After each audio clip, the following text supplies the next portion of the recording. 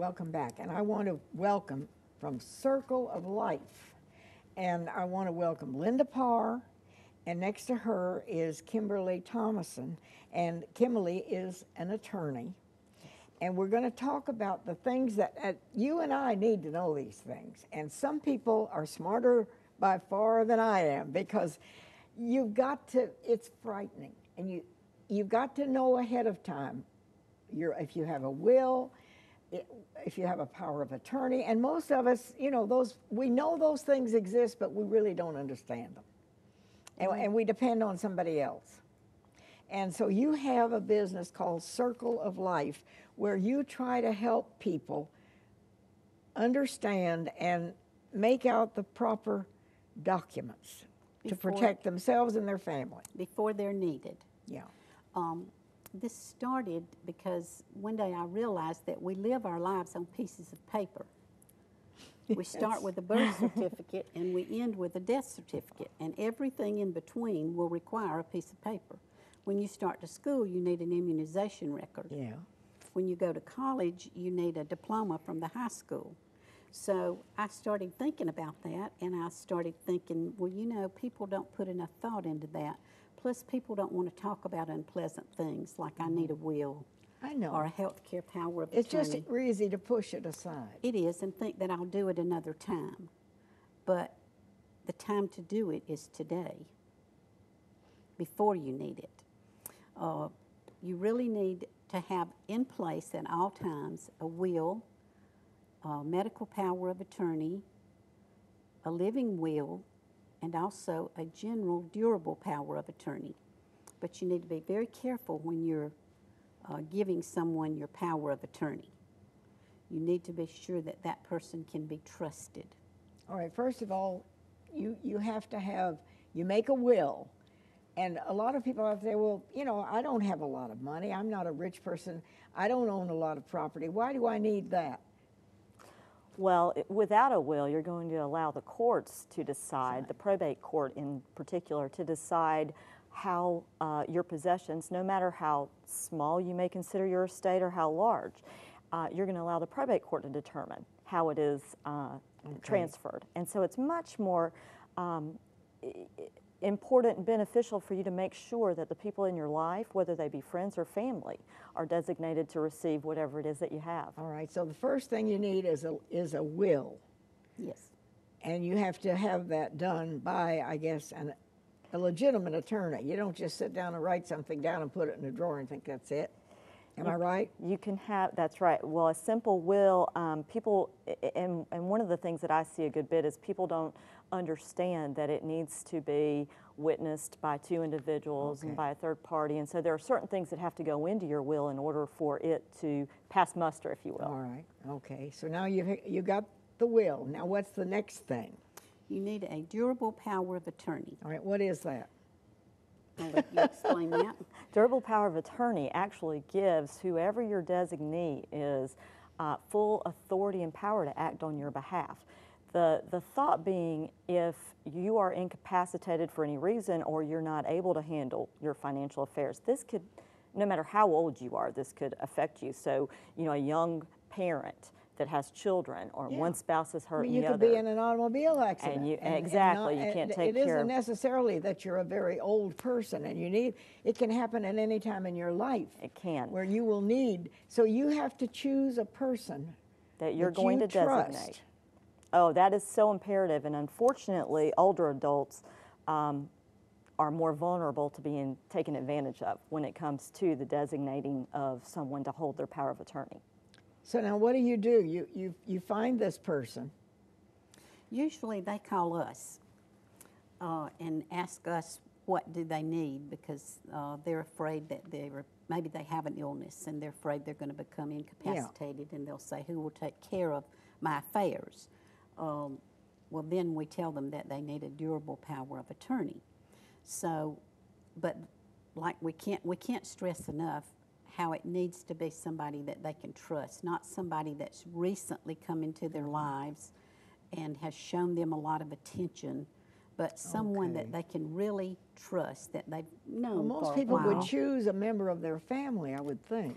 Most people would choose a member of their family. However, sometimes um, people want to designate someone that doesn't have anything to gain from it Okay. necessarily, right. but it needs to be someone that they have known a long time or someone that they have that has proven themselves trustworthy. And right. unfortunately, um, today there's more of a, an epidemic, and I'm going to call it an epidemic, of people preying on vulnerable adults. And vulnerable adult is really somebody that's more susceptible to um, manipulation, and it, it's never a direct. Yeah.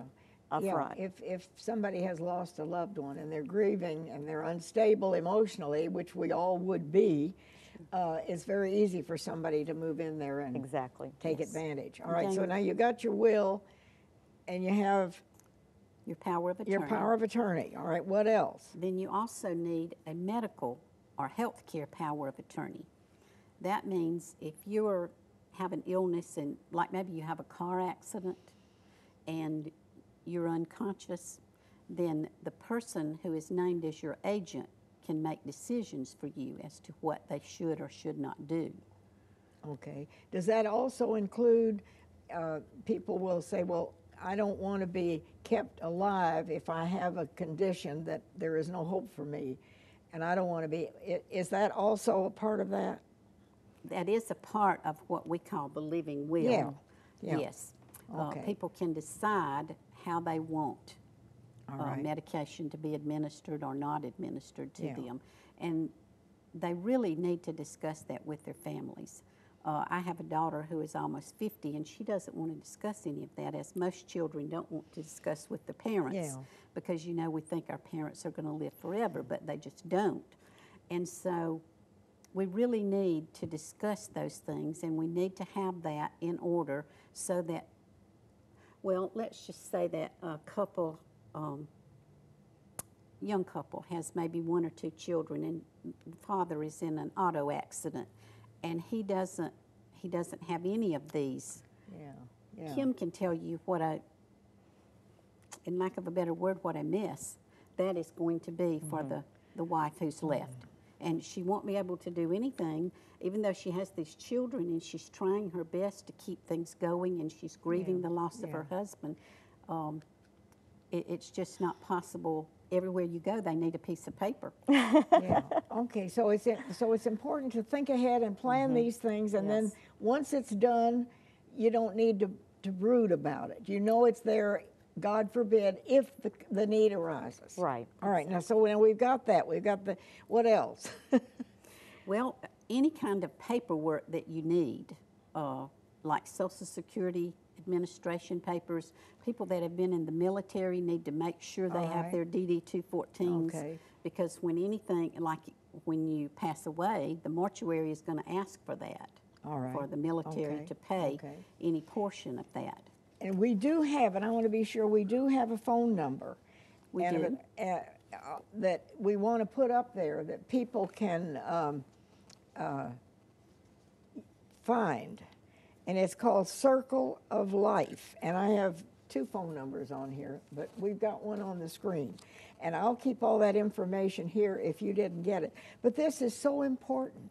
And Yes, it's it things we kind of put off, you know? It really is so important. And on one last note, I, I would um, really encourage people, and especially the elderly, because it just seems to affect them, you know, so profoundly, that they discuss with people, whether it's really close friends or family, where their documents are, and and that everybody knows that it's in one location, which is what Linda has put together, where you know insurance policies, So you wishes. put a file, oh, look at this. We That's have a great, medical Linda. notebook. All right. And it would- Medical notebook, and it says for John Doe. It can be, but you can get this, you know, a dollar Mm-hmm. someplace, and then you just put it all together, your records, and put it where somebody in your family tru- that you trust, someone you trust, knows where it is. That's right. And then if the situation comes, but it doesn't have to be somebody that's elderly. I mean, these things happen to people They do. and you have to be prepared. Now, what else do you want to Uh, share with we us? also uh, volunteer for the Vial of Life. We go to churches and speak to groups All right. uh, where senior adults might be more uh, prone to use this than younger people. But um, this is really a sticker that you put on your door that lets first responders know that you have the information How nice. you just fill out this form and you put it in a little baggie and you attach it to your refrigerator.